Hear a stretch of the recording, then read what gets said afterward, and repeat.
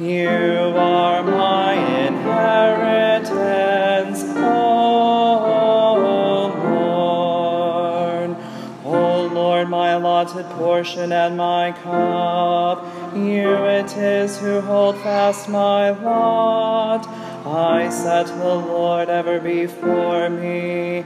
With him at my right hand, I shall not be disturbed. You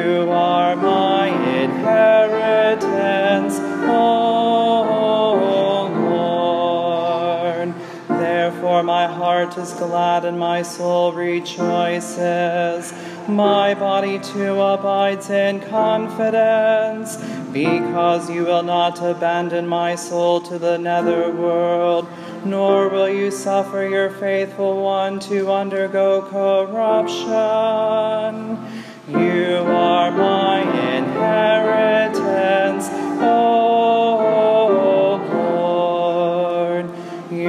show me the path to life, fullness of joys in your presence, the delights at your right hand forever.